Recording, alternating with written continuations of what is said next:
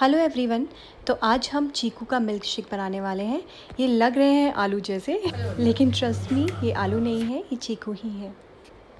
इसमें आधे से हम मिल्क शेक बनाएँगे और आधे से केक चीकू की अपनी मिठास ही इतनी ज़्यादा होती है तो मैं इसमें शुगर का यूज़ नहीं करने वाली हूँ। अगर आप चाहें तो आप इसमें शुगर ऐड कर सकते हैं।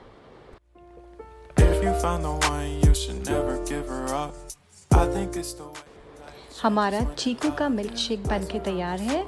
आप चाहो तो ड्राई फ्रूट से गार्निश करके इसको पी सकते हो। चाहो तो चॉकलेट सिरप मिला के पी सकते हो। लेकिन मुझे ये सिंपल इलायची फ्लेवर में ही अच्छा लगता है। आप चाहो तो इसमें वनीला आइसक्रीम भी डाल सकते हो।